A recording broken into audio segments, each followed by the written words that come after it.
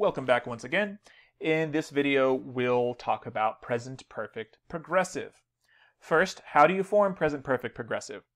Well, we use has or have plus been plus the present participle. That's the ing form of the verb. So we have the subject and then has or have been and then the present participle. For example, Jane has been running all day or we have been swimming since 10 in the morning.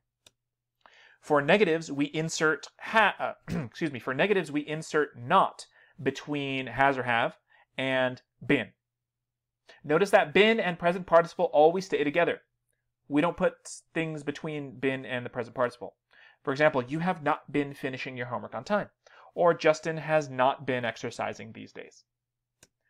For questions, we move has or have to the front of the question, and that makes the subject go between has or have and been. Once again, been and the present participle stick together. We don't put anything between them.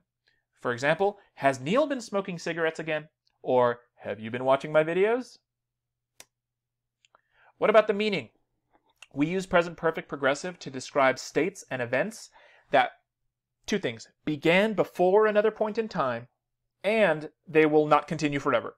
So they started prior to the present, that's the perfect, and they're temporary, that's the progressive. Okay? For example, they have been working hard on a special project. It means they started sometime in the past and it's ongoing, but it will probably end. It's temporary. It can change. Present perfect progressive describes situations or habits that began in the past and continue in the present and possibly into the future. For example, I've been learning English for a year, and maybe I will continue learning English. Or James has been dating Alicia, and it's going so great they might even get married.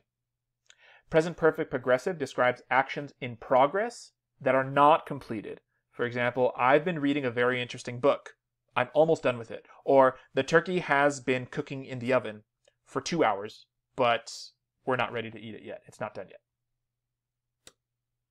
Present perfect progressive describes situations that change over time. Like they started in the past and they keep on changing. My son has been getting taller and taller over time. Or my dog has been getting smarter since we started taking those training classes together. That's it for present perfect progressive. It's not a very common tense in English, but it's important to know it for when you hear it and when you read it. One more video to go. See you then.